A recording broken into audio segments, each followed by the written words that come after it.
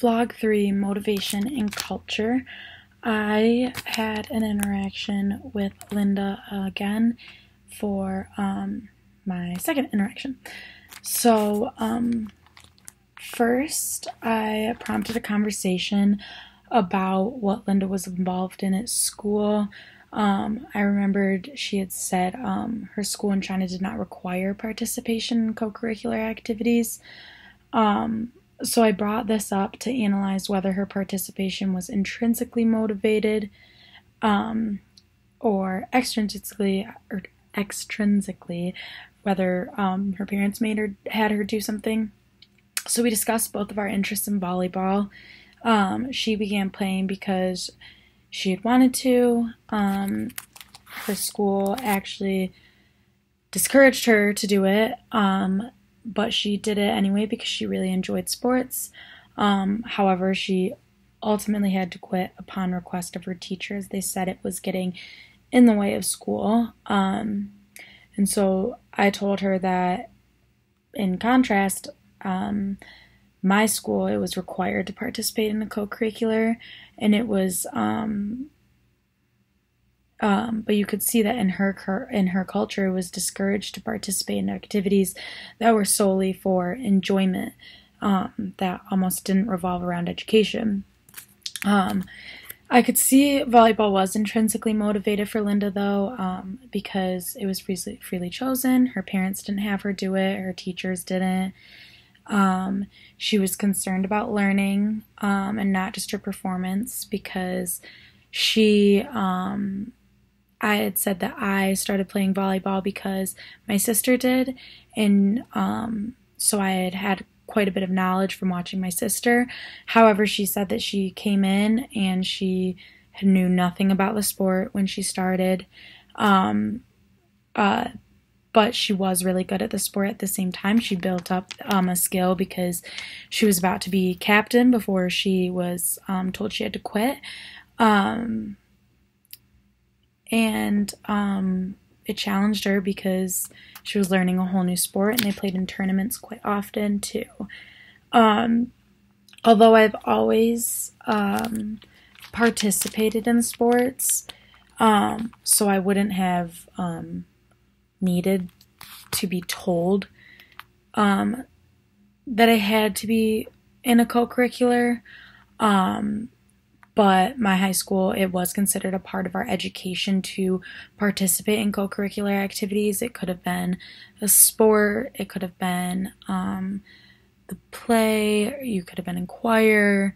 Um, we had a trillion clubs whether it was um, cultural clubs etc so um, i chose to play sports because i had played sports my whole life. Um, so I played basketball and volleyball because this. And um, when Linda and I discussed this, she emphasized that this was not the case in China. Um, and in fact, they were very, very discouraged um, to as it took away from their studies and their education. And um, as we had, as I have talked about in vlogs previously, their studies were very, very intense. So it did make sense that in her culture it was seen as something that they shouldn't partake in almost. Um, I then started talking to her about um, if she participated in anything else um, to start to try and get an idea of what if she participated in anything that was intrinsically motivated. Um, so I asked her if she was she did anything in school that she didn't enjoy but put a lot of time and effort into, which I said was um, for me was studying. Um, it still is, and she, Linda said she was a leader in her class, which meant she helped the teacher to manage the classroom because um, I had previously mentioned they stay in the same class with the same students every lesson of every day. Um, she did not want this position um, because her, but her teacher had her made her be in this position and appointed her to it. And um, I could see she was intrinsically motivated because um, as we talked about it, she said she hated she hated it. It was a lot of extra work, um, but she did put in a lot of effort in time, um, and it was very challenging to be taking on that extra work. Um, but she wouldn't quit as she didn't want um, to let her teacher down, and she was praised at the end of the semester because she did well, um, which are all, um, which all imply that it was tr- intrinsically motivated. Um, here, I could see a correlation between our cultures. Um, um, because uh, we were both motivated by this. Uh, because I also try hard to impress my teachers and follow what they're saying, telling me to do. Um, and I assume we both do so because of the authoritative position that they hold and the possible benefits in the future, whether um, they're more likely to help us in study hours and they're more, um, you're, you have a better relationship with them and, um, so I would often take roles in high school um, to help uh, to help my professors. Um, so we discussed our school policies to see which motivation features they emphasized more. Um, uh, I told her that um, the older I got in high school, the less intrinsically motivated I became. Um, I told her that um, I didn't say those exact words, but I did say teachers pulled back a lot more. Um, and it became more my responsibility to learn and be interested in order to know what I wanted to go forward um, to doing, whether that was school or if I wanted to take a break from school, etc., um, and even what I was capable of. So my teachers pulled back and they would say they wouldn't punish us. It was just we didn't do it. We're going to be the ones that suffer in the future, really. Um, but Linda said her school was very strict, ensuring every assignment was completed. Um, and they did this by having multiple different punishments. These were in place, um, and they were such as calling your parents. Um, if you didn't do it, you would have to sit out the whole next lecture and sit in the hall, or um, you would have a discussion with the teacher.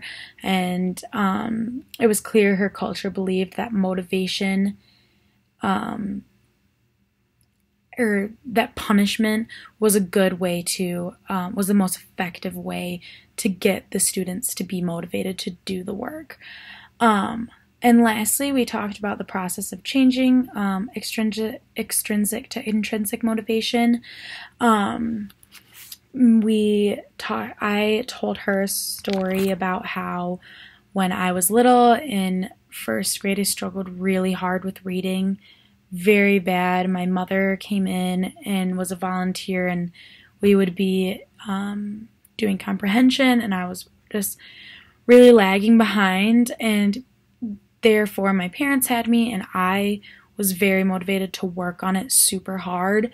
Um, but mainly because my parents were having me, my teachers were trying to get me up to speed, and because I worked on it so hard, um, I ended up really loving it, and now I do it intrinsically motivated. I love to read, do it before I go to bed, and things like that. Um, so we talked about with I talked.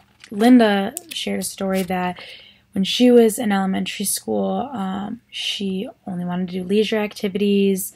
She wanted to have no responsibilities. She just wanted to play, and that was what she wanted to do: was hang out with friends in like middle school, etc. Um, but her parents said that she had to begin participating in things that would benefit her um, socially and her her social and responsibility skills um, and her future. So they had her sign up for student government, which she really didn't want to participate in. She didn't want the responsibility of that extra work. Um, so at first, her motivation was her parents requ- requiring it.